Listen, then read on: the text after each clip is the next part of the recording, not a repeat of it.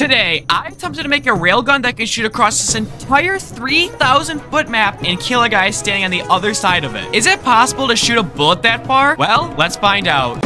Here we are. I mean, I pretty much explained everything in the intro, but I do want to quickly test something that I think is pretty relevant. What I just want to test is if any of these guns can actually hit a person from 3,000 feet away, because I'm going to shoot the gun from right here. It needs to shoot all the way across and hit a guy that's right here. So before we make the rail gun, I want to quickly see if a normal gun can just shoot the guy from that far away. So I'm inspecting him. So in the top right, you can see how this guy's health is, and if he gets shot, it'll tell us. But we'll just see. Obviously, we'll start out with like a short range thing, like a shotgun. I really highly doubt that any of these bullets are going to make it over there. I'm going to shoot the thing like 500 times, so like maybe a bullet just by pure chance. Let me really, maybe just by pure chance. Why is it not going off? Hello? Maybe just by pure chance, one of these bullets will hit him.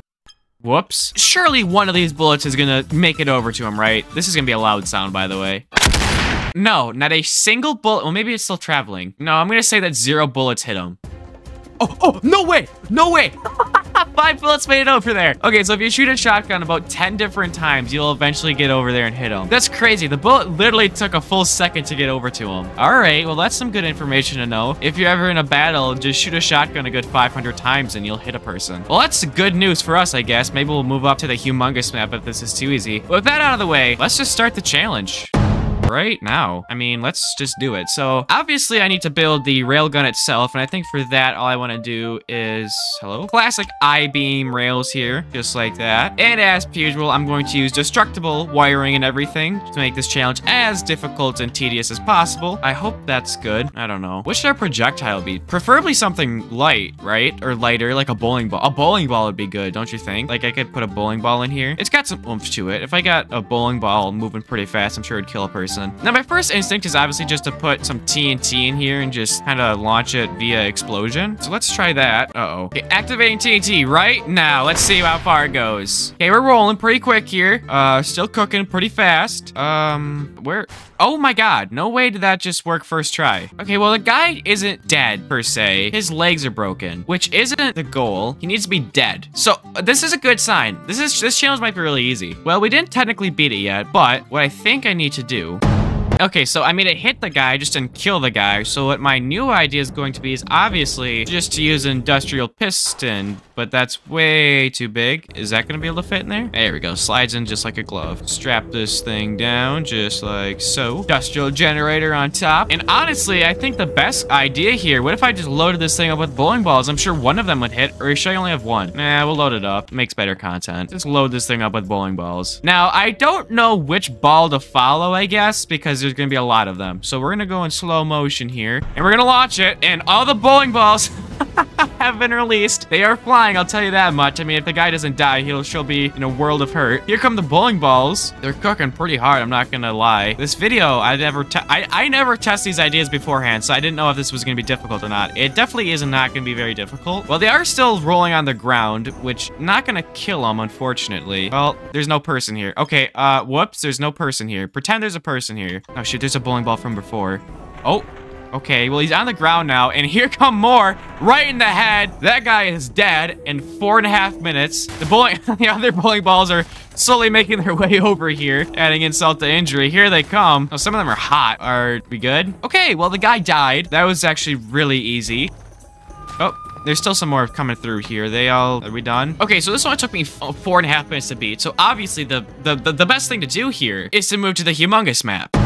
How big is the humongous map? It's quite sizable, isn't it? Yeah, this might this might be impossible. Not gonna lie, I don't know how I'm gonna get a projectile to get that far, but we'll figure it out. We'll figure it out, don't worry. Before we even start building the railgun, though, I need to go place our person on the... Oh, good God, this is a big map. We need to put a person down right here, and now I gotta travel all the way back over here, and let's start a railgun.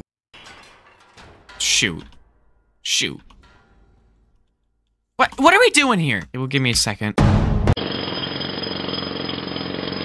Okay, so idea. What if I loaded this thing up with crossbow bolts? Because hear me out, these things are meant to fly, right? Shoot. Crossbow bolts are meant to fly straight because they're shot out of a they're meant to fly straight, so I assume that if I just loaded this thing up with them, that it would work. Now, there's a good chance that this just doesn't work. And I'm completely... Holy crap, those things are electrified. Okay, slow down time here. Launch the Okay. Well, I'm sure some of those are flying pretty nice there. Um, yeah. So these electric crossbow bolts, uh, hopefully will fly across the map to a person very far away. I mean, I'm kind of trying to follow the one that's going the furthest, but there's so many of them, it just looks like confetti on my screen. I guess it's probably just a better idea just to go to the person and see if anything meets us over here. Oh, and there's no person. What happened to him? Uh, okay, pretend there's a person here. Let's just sit here for a bit. Maybe a crossbow bolt will head on by and I can beat this challenge in under 10 minutes. That'd be a mushy...